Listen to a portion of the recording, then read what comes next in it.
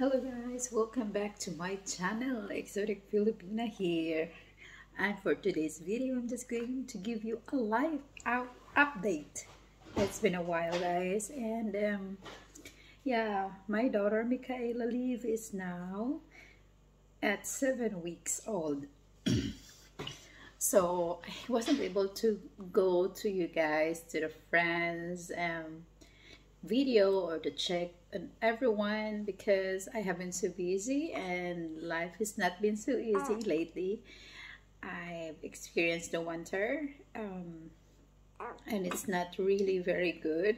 I mean, the experience, I mean, I love the snow. The cold is very new for me. Um, and I feel like I have the winter depression. I miss the sun a lot. You know, there's no sun in here at all. it has been so dark um, few days it had been so snowy. We have snow in Hamburg and um, yeah I haven't been sleeping well because of my baby. She mostly awake at night. Yeah especially when she was like few weeks old. So since then it's not very easy for me to fall asleep. And then yeah with the cesarean section it's not very easy as well. Um, with a healing and yeah too much um, things in my mind. I feel like i was getting mental but it's getting better now. Um, i went to the doctor yesterday and she said that everything's doing well with me. Uh, my uterus getting smaller as it's supposed to be. Um, the outer wound of my cut is healing and the inner part is healing as well. Not completely healed but it's still healing. And yeah that's what I was busy in the last few weeks since my birth.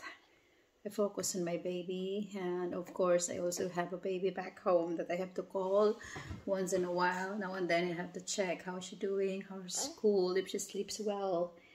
And yeah I also had um, first week after I gave birth, I had a complication. So I had, I've been sick and I had to take antibiotics. Um, and then, yeah, that has been so hard.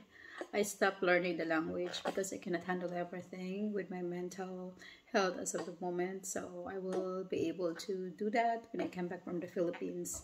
So the update is regarding my stay here. So I had a Duldung or the extension from September 19 to December 12 and we went to December 12 to um, immigration. And they give me another extension until January 22nd so that means that I have to fly back to the Philippines before that. And we were able to get the passport for my daughter.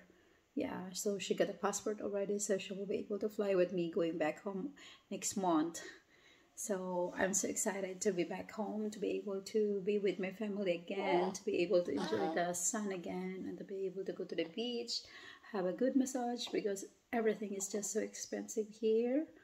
Um, yeah, it has uh, been tough weeks for me. Um, after giving birth, the adjustment is crazy. It's not very easy to adjust with the weather and just you know being home all the time because it's not very easy to go out as well with a baby.